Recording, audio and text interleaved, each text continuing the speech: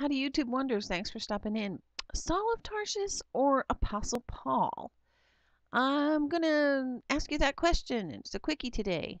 What's the definition of an apostle? Um, we find that in Matthew 19 and Revelation 21, they are judges of Israel. So there's 12. There's 12 tribes. There's 12 apostles. No 13 apostles. No 14 apostles. They're eyewitnesses to Yeshua's ministry, Acts 1, from start to finish, from John the Baptist to his ascension.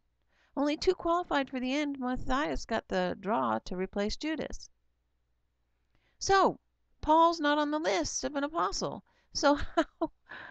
And he's not an eyewitness to Yeshua's ministry. He says apparitions basically taught him. So how on earth do we have him testifying of Yeshua and our words are constantly quoting Paul's words and not Yeshua's words from the Gospels?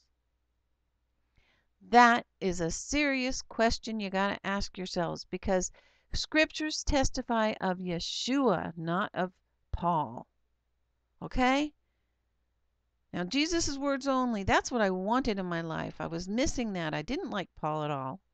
And um, and I couldn't find anybody else to agree with me, so I bought this book and by D- Douglas J. Del Tondo, and it stayed on my shelf for four years because I opened it up and he's talking about Paul and this trial of uh, Ephesus, the Church of Ephesus. So it sat on my shelf for four years. And then I, I was asking the Lord, you know, Father, I really don't like Paul and nobody's agreeing with me.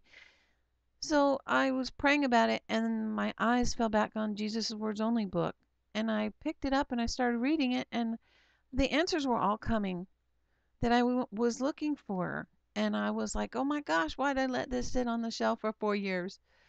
And it was incredible because the church of Ephesus put Paul on trial and found him a liar. Why aren't we?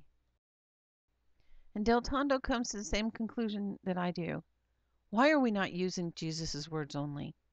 Why are we not using Jesus' words only? Do you hear me? Why are we not using Jesus' words only? We use Paul all the time. We're in deep cow poo poo. Get on your knees, pray, ask for forgiveness, and start using Jesus' words only, please. Thank you.